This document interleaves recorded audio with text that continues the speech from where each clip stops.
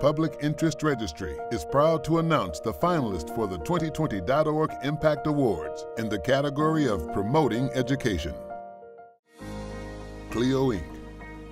Based in Largo, Maryland and operating nationally since 1968, the Council on Legal Education Opportunity aims to improve the glaring and long-standing lack of diversity within the legal profession.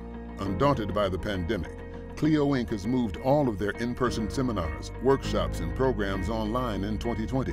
They continue to inspire, motivate, and prepare law students from underrepresented backgrounds to succeed. Congratulations to these remarkable nominees. Learn more about their work at orgimpactawards.org and watch as the winners are revealed during the 10 Days of .org Online Awards event, November 30th to December 11th.